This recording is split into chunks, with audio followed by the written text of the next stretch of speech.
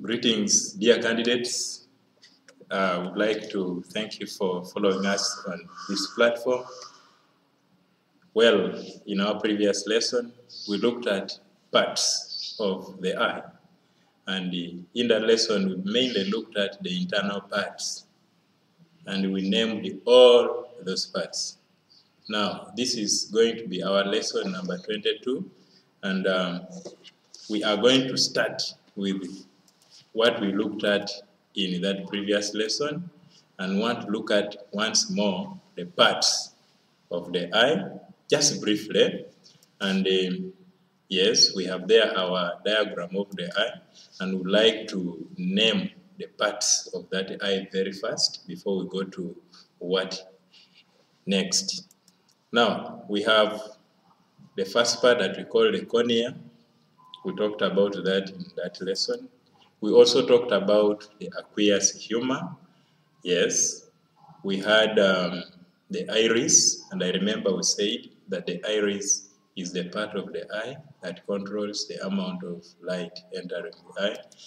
We also have the pupil, that is the part of the eye that lets in light. We talked about that. We also talked about the convex lens. Yes, take note of that, children. Then we went to the next part and we called it the suspensory ligament. Yes.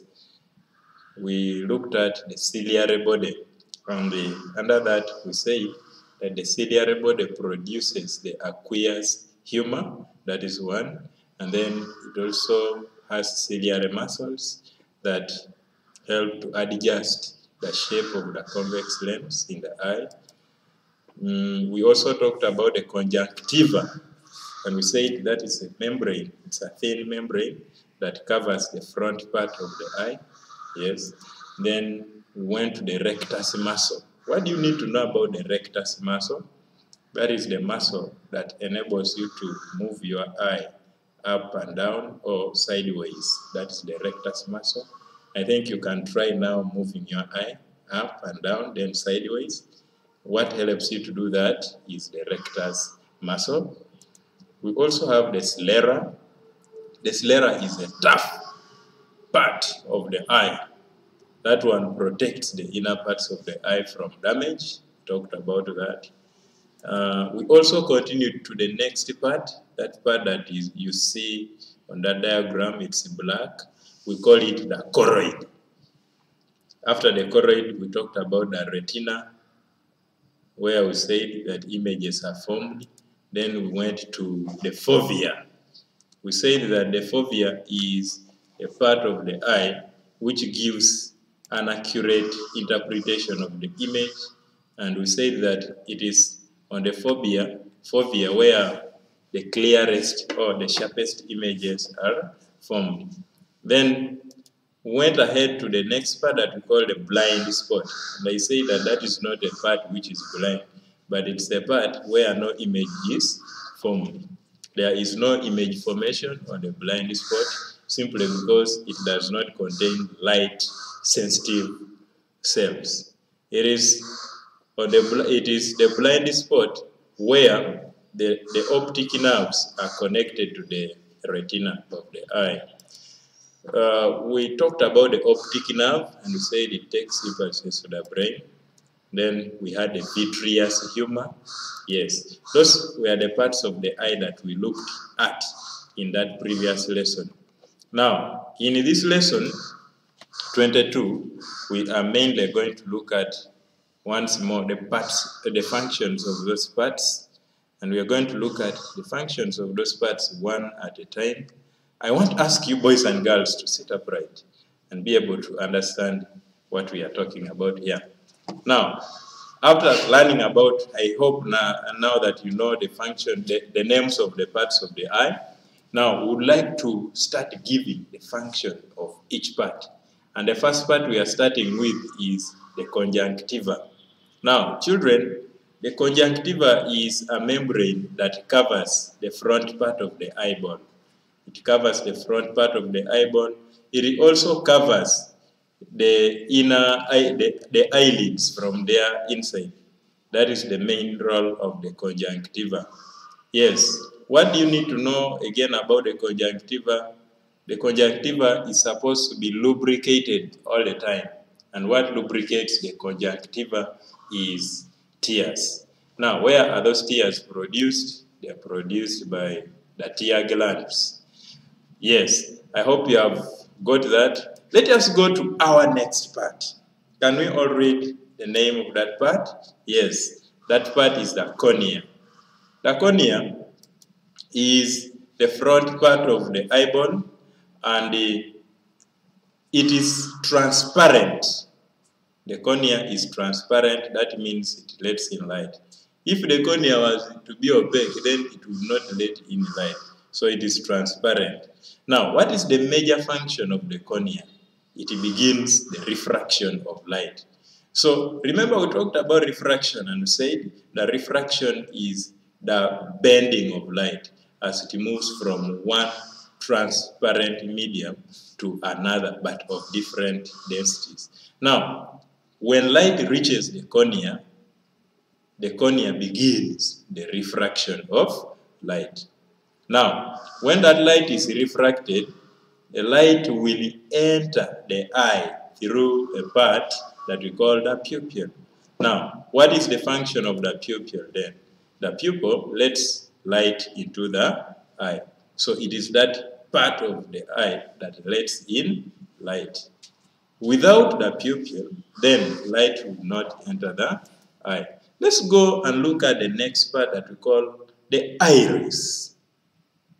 The iris. What is the role of the iris? Yes, the iris is the part that surrounds the pupil. That is what you need to know. Now, the major role of the iris is to control the amount of light entering the eye. It is the part of the eye that controls the amount of light entering the eye. And how does the iris do that? The iris controls the amount of light entering the eye through two ways.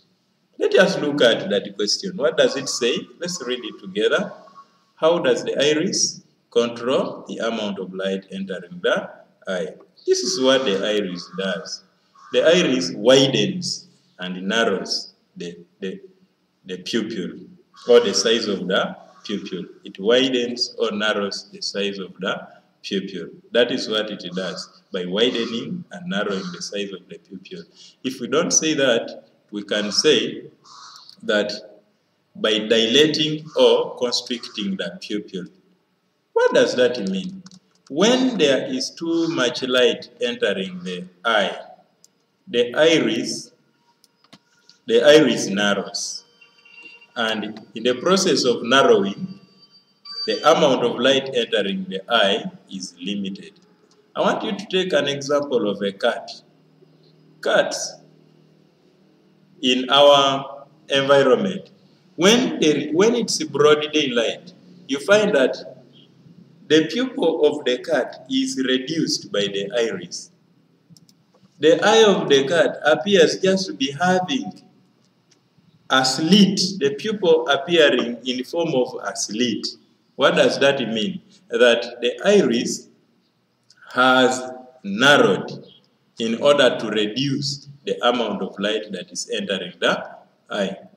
But when there is dim light, huh, the iris widens. And by widening, let it lets in enough light for you to be able to see, for me to be able to see, or for other animals to be able to see.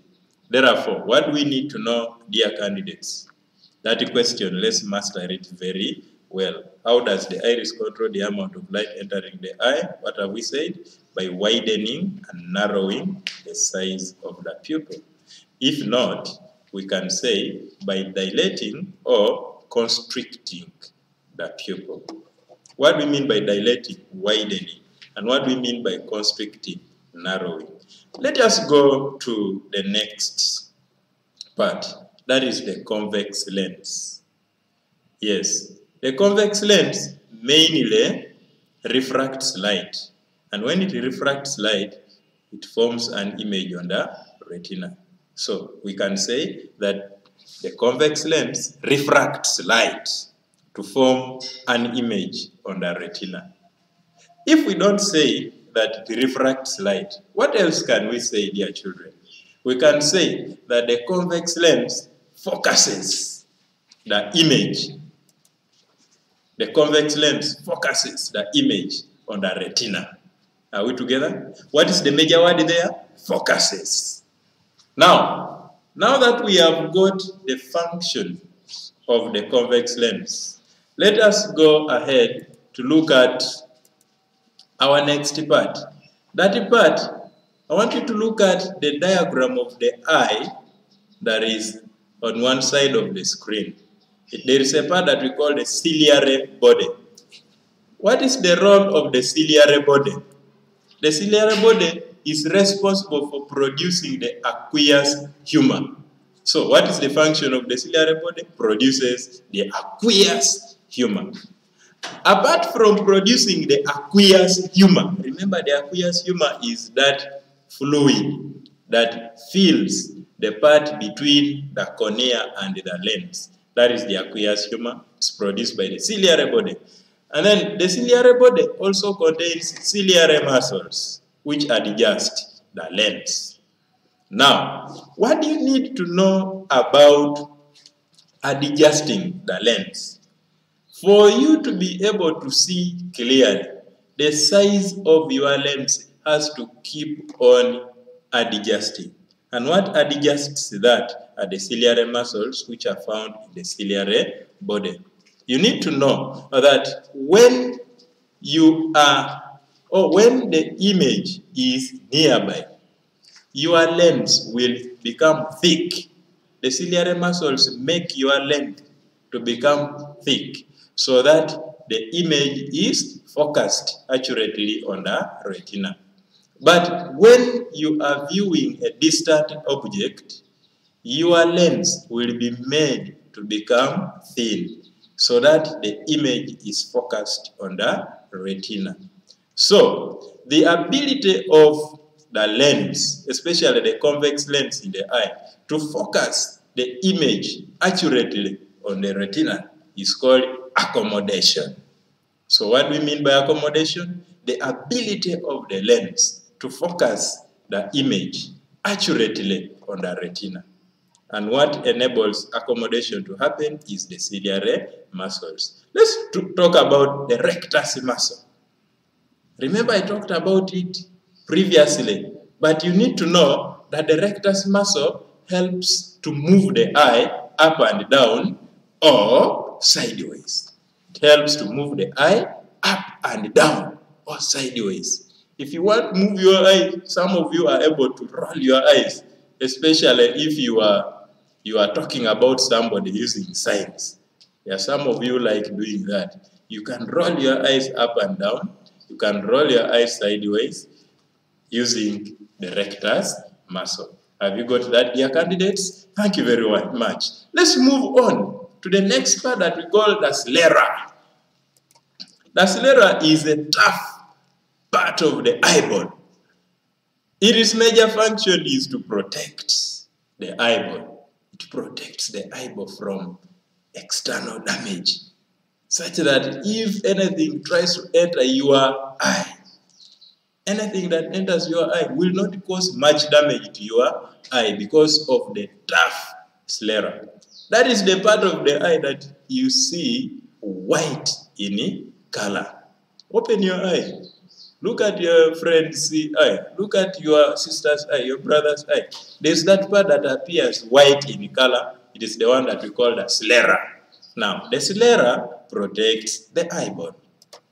The next part is the choroid. Wow, I love talking about that part. The choroid is the part of the eye that is pigmented black. It has a black pigmentation. And its major role is to prevent internal reflection of light. It prevents internal reflection of light. Remember, should there be any internal reflection of light, that means no image will be formed. For the image to be formed in the eye, there must not be any kind of reflection. So internal reflection of light is prevented by the choroid. Apart from that, you need to know that the choroid is a vesicular part of the eye. Being vesicular means it contains blood capillaries, which supply food and oxygen to the eye. Therefore, dear candidates, what can we say about the choroid? We can say two things about the choroid. It prevents internal reflection of light. It contains blood capillaries, which supply food and oxygen to the eye. Okay? How is the choroid adapted to its function? Wow, that's a wonderful question. What does that mean?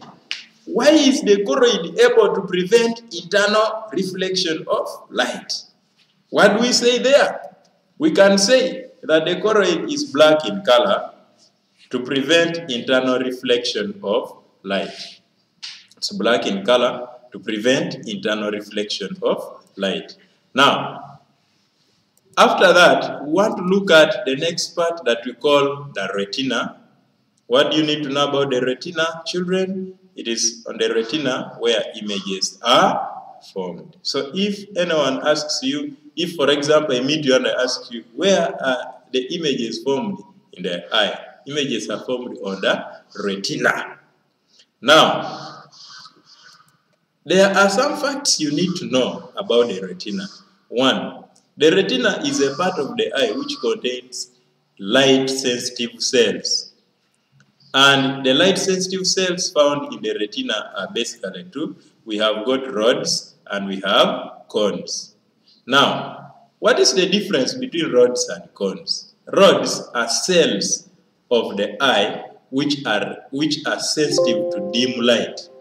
Cells of the eye which are sensitive to dim light. Those are rods. Therefore, rods are responsible for night vision. They are the ones which help us to see, especially at night. You all know very well that during night time, there is not much light. But because you have got the part called the retina, and that retina has got light sensitive cells that we call rods, you are able to see images even at night. So rods are responsible for night vision and they are sensitive to dim light. Then the retina also has cones. Those are, those are cells which are sensitive to color. The cones are basically uh, very active during bright light. Therefore, they help in color vision.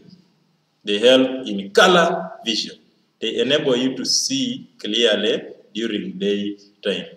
And then we have got the fovea. Huh. On the retina, there is a depression that we call the fovea. It is the part of the eye which gives an accurate interpretation of the image. What does, why does it give an accurate interpretation of the image? That is the region of the retina where there is a, a higher concentration of rods and cones.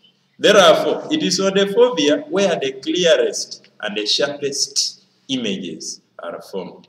The fovea forms very accurate images because it is made up of very many rods and cones. Then let us look at the next part, part 12, that we call the blind spot. This is the part of the eye which does not contain rods and cones. No images are formed on the blind spot. Why? It is where the optic nerve is connected to the brain. Now, let's go to our next part. That is the optic nerves.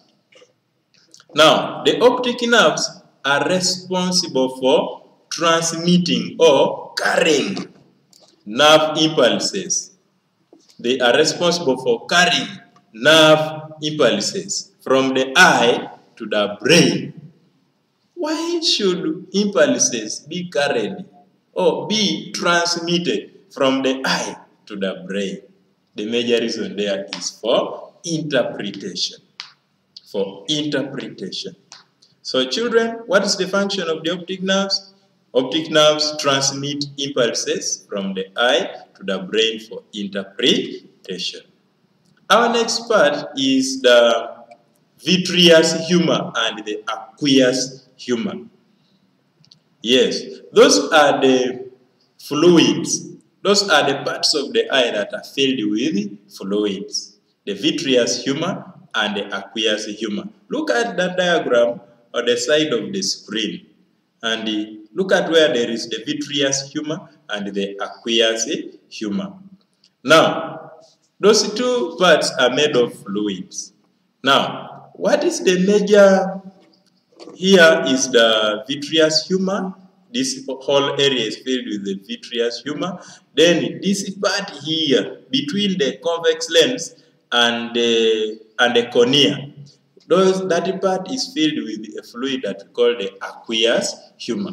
Now, what is the major role of the aqueous humor and the vitreous humor? Those ones refract light. They refract light to form an image on the retina. So without refraction of light in the eye, the image will not be formed. So we are saying that the vitreous humor and the aqueous humor refract light form an image on the retina. But apart from that, the vitreous humor and the aqueous humor also perform another function. What do they do? They also maintain the shape of the eyeball. And how do they maintain the shape of the eyeball? By exerting pressure on the sclera. So what are the two functions of those fluids? They refract light to form an image on the retina and they maintain the shape of the eyeball. How do they do that? By exerting pressure on the sclera. Remember the sclera is that part of the eye that is tough and white in color. Now, let us look at another important part that we call tear glands. Now, the tear glands mainly produce tears. They produce tears. What is the function of the tears produced by the tear glands? Tears lubricate the eyes in order to prevent friction between the eyelids and the eyeball. So, tears lubricate the eyes. Then, apart from lubricating the eyes, tears also remove irritants. Tears remove irritants. Take note of that word irritants. That one there. Irritants are just substances which cause itching of the eye. For example, we can talk of dust, we can talk of um, smoke. Yes, some of you have ever cooked using firewood.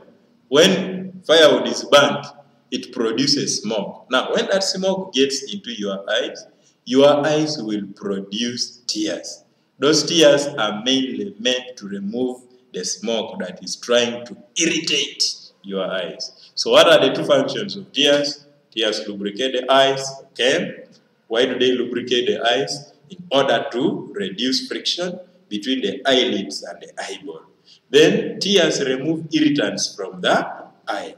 Are we together, dear candidates? What is our next heading? Wow, I love that. Now, our next heading is characteristics of images formed by the eye. And that is the last part we are going to talk about. Okay? Pay attention, sit upright, dear candidates. Now, characteristics of images formed by the eye. The eye works just like a camera does. We looked at the characteristics of images formed by uh, a camera.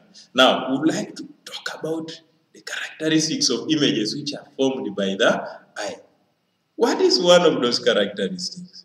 The image is real. What do we mean by the image being real? The image is formed on the screen. What acts like the screen here? The retina acts as the screen, or it acts as the film of a camera. So the image is real. Then, two, the image is inverted. The image is upside down. Images formed on the retina are upside down. But now, when you look at that image, you see it when it is upright. Why? Because the upside down image is sent to the brain. Then the brain interprets and corrects that image so that it remains upright. Are we together, dear children? Yes. When the image is sent to the brain, the brain corrects that image, which is inverted, and then makes it to become upright. Are we together? So we are saying the image is inverted, and then lastly, the image is diminished. The image is diminished. What does that mean? The image is smaller than the object. That is what we mean by being diminished. So which words do you need to know there? Real, inverted, diminished. Those are the characteristics of images formed by the eye. Now, I would like to, to thank all of you for listening to me and for learning science with me. I'm grateful that you are really doing a great job. You are minding your education, you're minding your future.